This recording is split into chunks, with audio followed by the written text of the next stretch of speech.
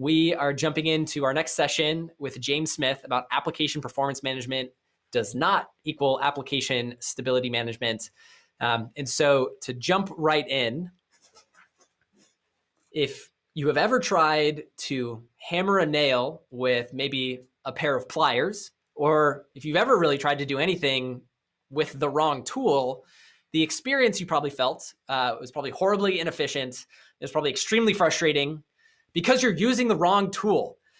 In this session, you'll learn the difference between application performance management and application stability management uh, and the different solutions and how you can improve the end user experience by using the right tools. So let me introduce you to our speaker, James Smith. James is the CEO and co-founder of Bugsnag. Prior to joining Bugsnag, James was the CTO at Heyzap and was instrumental in scaling Heyzap from a three-person company to the world's largest mobile gaming community and mobile ads platform. James has also worked at Bloomberg and has created a number of popular open source projects, which are used by companies such as Twitter, Pinterest, and Trello. Be sure to check him out at, on GitHub at LoopJ. Um, and so, with that, I'd like to say, welcome back, James. Thanks again for joining us. Thanks, Patrick. Thanks for having me again. Let's see here. Hi, everyone. Uh, I uh, Patrick gave me a great intro there. Um, I, let me get my my screen presented here so we're all set up well. Okay, and then let's do this. Great. Okay, so today, as Patrick said, I'm going to be talking about um, the differences between uh, application stability management and application performance management because these are not the same thing. Uh, before I dive into that, I talk a little bit about myself. Um, as Patrick mentioned, uh, I'm the CEO and co-founder of Bugsnag. Um, and really, I'm a builder. That's what's in my DNA. Um, I love building products, and these days I spend most of my time uh, building companies. And, and, and Bugsnag is uh, I've been running for the last seven years. Um, before I became a CEO, I was uh, formerly a CTO and uh, joined a Y Combinator company in 2009, which brought me out to the Bay Area um, and uh, ran that team uh, f- uh, from three people in a bedroom to uh, a, a, really popular mobile social network for, for gamers. Uh, I also used to do a lot of open source work. Uh, I built one of the first um, uh, callback driven HTTP clients for Android, which was used by pretty much every app back in the day. Don't use it these days. There's much better alternatives these days. Um, and then before that, I used to uh, build uh, little widgets and and uh, and things uh, for JavaScript applications like sliders and and uh, autocomplete dropdowns, all that kind of stuff. But these days, again, there's there's better tools available. But that's my background. Um, I also have a background in enterprise. I worked at Bloomberg for a number of years building uh, trading platforms for the foreign exchange space, which was which was also pretty fun. Um, these days, as I said, I'm running a company called Bugsnag. Bugsnag is uh, uh, what we call an application stability management platform. And basically, what that means is we'll detect when your software breaks automatically uh, when it's in the hands of your customers. So we'll detect crashes, um, unhandled signals, um, unhandled exceptions. We'll, we'll, detect all sorts of stuff, even in JavaScript land. We'll catch unhandled promise rejections. But basically, anything that can cause your application uh, to give your customers a bad experience, we'll detect that and help you uh, figure out how to fix it. Um, and we've been doing this for a while. We've been doing this for about seven years. Uh, and over those last seven years, we're, we're very proud to uh, uh name these uh, companies as customers, um, uh, all from uh, little SMBs using us all the way up to Bay Area unicorns or more traditional companies that are differentiating via technology. So today, I want to talk about what we call application stability management, which I think is a little bit different to what most people are used to uh, you almost certainly are using something like log management solution, like a Splunk. You almost certainly are using something like a APM product, like an AppDynamics or a New Relic. But there's this different thing. Um, we call it application stability management, but really what it is is reflecting the, the changes and evolution in software development. So this is all obvious to pretty much every engineering leader that, that, that's watching. Uh, it used to be uh, that you uh, even when I first started my career, you release a piece of software, you would print it to a DVD or CD and ship it to Best Buy, uh, and people would buy it, and that was it. Your software was out and released, and there was no changes to it. But obviously, we live in a different world now. Pretty much every piece of software that's being built um, has some kind of uh, update cycle or it's, it's connected product, uh, or, or, in a lot of cases in the SaaS world, um, it's software that is is updated uh, in real time. You might wake up the next day and there's a new feature there. And there's, so that's kind of the, the new world we're in. But also there's lots of um, uh, evolutions in the way teams are structured.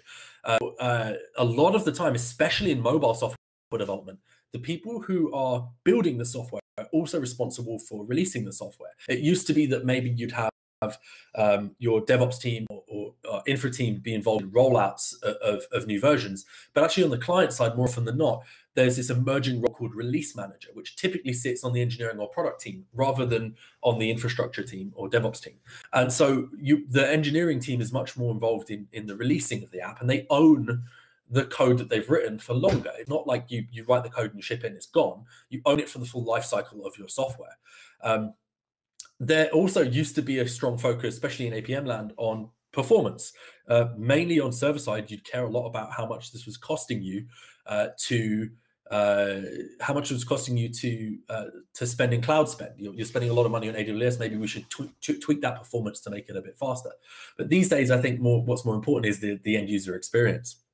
And I already talked about infrastructure centric versus application centric trends as well. I'm sure a lot of you are seeing these in your teams as well. So we kind of need a bit more of a, a, a, shift in focus. If historically we cared more about the the, uh, the the the computers and the machines that software was running on, and these days we're shifting to care about this uh, the more about the customer experience. Uh, we need to consider the trade-offs, and really the trade-offs are pretty straightforward. Um, you want to deliver features to your customers on a sensible pace. You want to get features to your customers as soon as reasonably possible. Um, now, how do you decide what is reasonably possible? Well, you have to make sure that you're not delivering terrible, crap quality software to your customers, but you also don't want your lunch to get eaten by your competitors. A really good example here is the trade off that um, I saw with Lyft and Uber a few years ago. Um, uh, Lyft and Uber, it, it, turns out, were both working on um, their uh, shared ride functionality, Uber Pool or Lyft Line, it was called at the time, at exactly the same time. And it seems like the, the Lyft Line launched one day after Uber Pool. And whether that was because Uber got all the press and launched their feature quickly and Lyft felt they had to react, or whether it was just a coincidence, I don't know. But these are the kind of competitive tensions that exist in, in, in most uh, in most software teams. So, how can we measure that? How can we figure out when is the right time to deliver our software? When is the right time to ship software to our customers? So uh, it used to be uh, that we would go and look at APM products, or maybe we would go into log management solutions um, and dig around in the code after a customer had complained to us. And it actually shocks me how common this is still these days. The amount of people who wait for customers to complain, then start digging into uh, into issues. Well, that APM focus, obviously, a lot of people come from that from that, path. You'd start off at the the infrastructure layer uh, with monitoring of CPU and memory usage, uh, and oh, have I run out of disk space? Is my server going to fall over? Uh, and then the database layer at the top, maybe that would be your um, DBAs working on your infra team. And then finally, you'd get up into the code layer and then closer to the customer layer. Now, that makes sense. That's how things used to be run. And when things were uh, DevOps and infrastructure teams were purely owning uh, the running of applications, uh, then this kind of made sense, which is why I think APM has been so prevalent. So it's great. I'm not saying don't use APM. APM is an essential tool. You can figure out when your infrastructure is falling over. You can figure out when you need to scale. Uh, you can figure out when uh, there are performance bottlenecks. Uh, you can do capacity planning uh, response times, load times, you know, all of these metrics you need to care about as, a, as an infrastructure team and as a development team. Um, but it's not necessarily tied to customer experience. Um, I like to talk about uh, this example. Uh, Patrick mentioned about um, use the right tool for the job. Another analogy we like to use is look, what's the point in tuning your engine on your Lamborghini if you've got four flat tires? Like honestly, there are teams out there that are, are, tuning performance characteristics uh, uh, while the application is failing for key flows or key experiences in their product. And so that's kind of where application stability management comes in, as we call it. try and focus on the customer experience first. Where are the places in your application that customers are seeing a demonstrably bad experience? And so really what we talk about here is flipping that pyramid. It's exactly the same elements in this pyramid, but let's start from the top and work down. So if your aim as a product and engineering team is to deliver features that add value to your customers that they're going to get excited about and pay you money for, which is true in any environment, then let's focus on the customers first. So if you're going to do that, you need to figure out are my customers having a problem-free experience rather than what's my CPU usage uh, on average over the over the last thousand requests or whatever Apdex or whatever uh, uh, they use over uh, in the new uh, APM space. Well, let's think about customers. Well, let's think about are they having a stable experience? Do they have flat tires on their Lamborghini? Um, let's figure out uh, what the client side looks like first as a leading indicator of problems. And let's make sure that we're fixing problems in a timely fashion and we're fixing the right problems first. Now, I'm not wearing my uh, Bugsnag t shirt today, but on my Bugsnag t shirt, it says, don't fix every bug. Not every bug needs fixing. And you know, when I started my career, I'd be like, "Whoa, you can't say that." But now I've run large engineering teams, and I'm sure a lot of people will be agreeing with this. You have to prioritize. You have to be ruthless about which bugs matter. Another interesting trend that I'd like to bring up at this point in time is the role of QA. Now, it, historically, when I started my career, QA used to be this human-powered function. You'd have tens, hundreds of people, maybe thousands in some companies, whose job it was to bust open a, a Microsoft Word document and go through a list, a, a script of things they had to do in your software to make sure it was working as expected. Now, a lot of teams still do that. There's a lot of money spent on human powered uh, QA. But what we're seeing is actually this is getting squeezed from both sides of the software development lifecycle. Now, the most obvious one I think is from the left hand side of the software development lifecycle.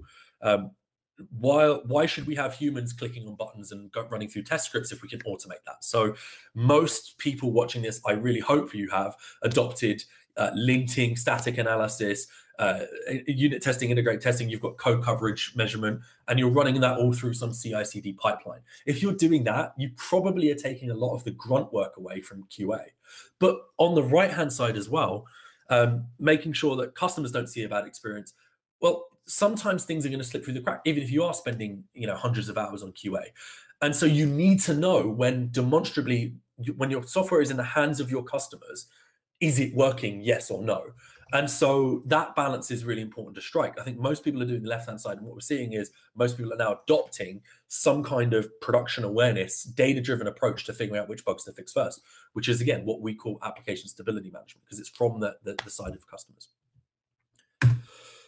So again, we're talking about a different audience here. We're not talking about DevOps and infrastructure and sysadmins. We're talking about way closer to the customer. We're talking about product teams and engineering teams and the evolution of QA to QE. Uh, I met um, with uh, uh, some of the teams at Capital One a, a, couple of years ago, and they they'd rebranded their QA team to the QE team, Quality Engineering. I'm not sure if they still call it that, but uh, that really resonated with me. Quality still matters.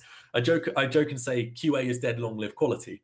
Um, quality still matters, but it needs to evolve to, to, to surface the information to the right teams. So if you are thinking about this for engineering and product teams, what do you need to do? Well, you need to give the context behind the errors. You need to give that detail at the line of code level. You need to figure out how to prioritize these things and, and teach engineering managers, engineering teams, and triage teams how to figure out which bugs matter first and you're going to focus on that positive customer experience. And the kind of stuff you're going to care about as an engineering product team is what we call a stability score. A lot of teams might call it an error rate. Um, how fast you're delivering features and software to your customer base. If you're a mobile team, you might be looking at app store ratings. You know, uh, a, a, customer of ours that, that, that joined us a couple of years ago started off, uh, joined Bugsnag. They had a one star rating on the App Store. Uh, this is a big consumer brand that you would have heard of. Uh, and now they have a 4.5 star rating on the App Store because they have visibility into the bugs that were causing customer impacting problems. And maybe you're looking at CSAT as well. What's the satisfaction of your of your customer base? So, look, most teams have probably adopted some data driven approach here. A lot of teams use something like error rates. Um, what we've done at Bugsnag is we've collect that automatically. We'll tell you what percentage of sessions ended in an exception, a crash, a bug, whatever um, and what percentage of sessions did not end in, in that. And that's what we call our, our stability score.